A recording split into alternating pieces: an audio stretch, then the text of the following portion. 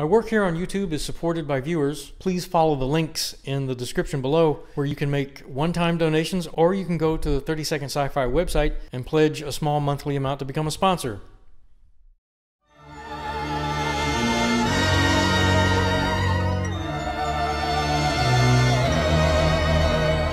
A 1984 novel by Robert Holdstock about a British soldier who reunites with his brother after World War II at their family home, which stands outside one of the only remaining old growth forests in the area. They used to play in those woods and they used to fantasize about seeing characters from storybooks and mythological creatures. And now that they're living out there alone as adults, they're starting to see these things again. This lonely stand of woods is relatively small, but they discover that once they get inside it, it seems to be infinite. I read this book about 20 years ago. I remember the ending being unsatisfying, let me put it that way, but the idea of this world was really unforgettable.